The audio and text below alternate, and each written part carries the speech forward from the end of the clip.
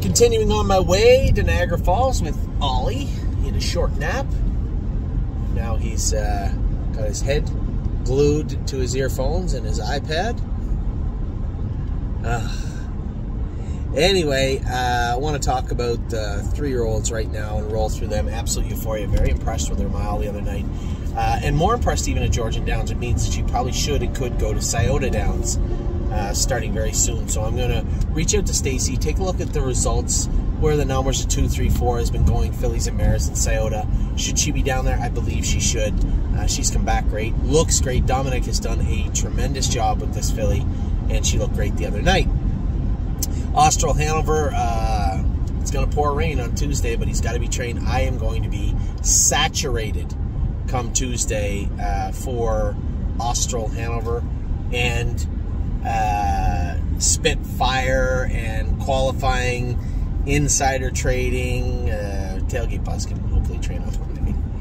Uh, but all these horses got to be trained up for next Sunday in Philadelphia, so we'll see how that plays out. Uh, Brace for landing looks great. Amy's got him. Maybe she's right. I, I got to call a spade a spade. Since we've castrated this horse, he has done nothing but eat. I'm only human. I could be wrong certainly looks like I am because he's starting to look really good. Uh, we're just jogging him right now. We'll probably only train him a couple of miles and put him into qualify right away. But I would like to take this time to maybe snap 50 or 60 pounds on him real quick uh, as we got him going in the right direction.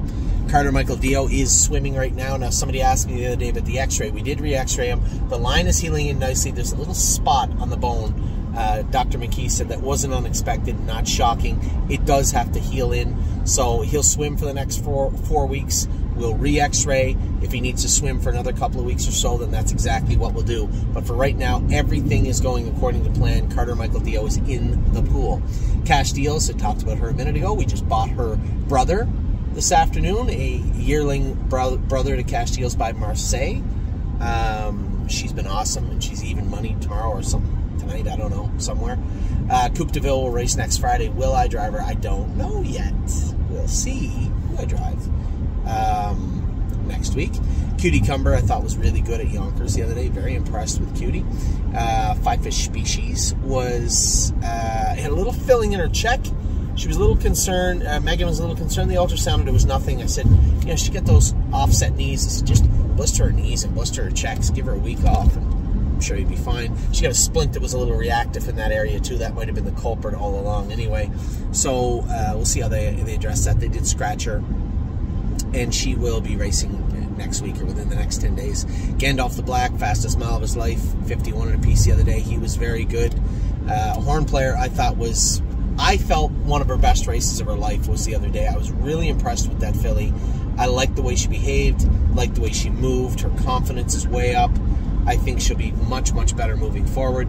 Major Megan. I haven't talked anything about Major Megan yet. I haven't seen her. I left her with Mr. and Mrs. Sheehan to race in the fair. I believe they were drawing today for the Kentucky Fair in somewhere.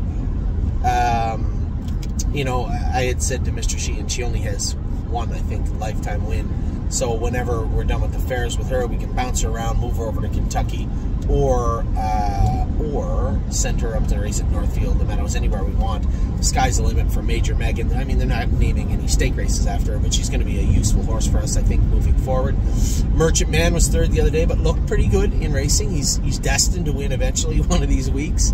Mopar Baby raced great again, finishing second in 55 the other day. Really, really happy with. Um, really, really happy with her. My 1% threw in an odd break. I'm happy to say odd when I said he made a break because he had some breaking issues in the winter, but he's been lights out since he's been at Mohawk, but threw in a break the other night. I think uh, Dominic is going to race him in Georgian Sunday, Tuesday, something like that. Um, nothing but a dreamer. Another horse with an odd break, even odder than my 1% because he never, ever runs nothing but a dreamer, but seemed to roll off. Like he might have stung himself and touched himself somewhere the middle of the straightaway. I'm sure that's anomalous. Smoking Hot Irish Girl. Three in a row. Rare break for her the other day. She lost a shoe, though. We know what happened with her. She lost a shoe halfway down the backstretch and made a break. Uh, stay special. We're going to give her the summer off. I know maybe my partners don't want to hear that. I think she's going to be a really useful filly for us moving forward, but we need to get her. We can't keep maintain, maintain, maintain, maintain. Eventually, it's going to be too hard to maintain her. Um, so I think what we need to do is just stop. Say, okay, rest her until her knees are going in the right direction. Inject them with, you know, the, the medication that um, Dr. Tessa was using. Inject her knees. Continue to give her time off. If she's sound, put her in the pool even for two or three weeks. Although we don't have a pool now. Mike filled it in with cement. Put a aqua treadmill in it. So, and she might just go back to Ontario. Maybe that's what we'll do. Send her back to Ontario. Stall, rest, and swim there. Very possible. Um, Steel Cowboy. Ah, I like this guy's got a lot of pop to him. He was so good training the other day. Made a few little shoeing changes with him. He's into going Kentucky on Tuesday. I'm as interested as you are. Yeah, I trained him the other day, but that's not racing. I want to see this guy race. I can't wait to see Johnny McDonald and Eric race him on Tuesday. I, I I don't believe he needs a shadow roll, but he did look at a few things on the track. So I'm going to actually call Jason after that and ask him to put Born to Dance's old shadow roll, which is a tiny one. Put that in the bag and, and uh, put that on him. Um, Swinging Senorita is going to be in next Thursday in an overnight at Scioto. She was awesome her last start. Spitfire Overseas wasn't awesome his last start, but he's been awesome this year. Can't wait to see him at Philadelphia next Sunday. I'm jumping over horses here. I went over Spitfire, back, Steel Cowboy, Swinging Senorita. Now we're Tactical Mounds.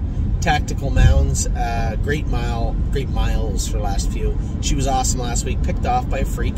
She raced good, and I expect she's going to continue to race good moving forward. Tailgate Buzz has been lights out, awesome his last three, and he's coming into Philadelphia just brimming with confidence. I can't wait to see him race, um, race him. Warwi Yuri has been good, continues to be good. Lifetime mark the other day, two minutes. Good job by Mario with him. Uh, what a mission has just turned into an absolute sweetheart this year for us. I don't think he's missed a check, and I think he's only missed the board once, he was fourth. Horse has just been a, a, real treat, and I can't wait to see how the rest of the summer turns out for him. So those are our three-year-olds. I'm going to talk about our racehorses in just a second, and then that's it. Your videos are done for the weekend. Um, lots ahead. Talk to you soon.